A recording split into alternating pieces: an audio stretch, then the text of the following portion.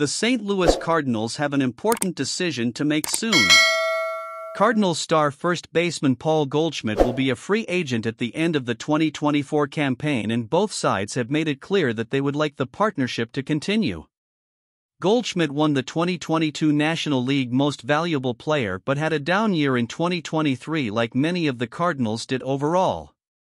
It's unclear when exactly a deal could get done, but it wouldn't be surprising to see one happen, according to MLB.com's Mark Feinsand. If you don't want to miss the latest news, subscribe to this channel now because we are always attention to the latest news from St. Louis Cardinal.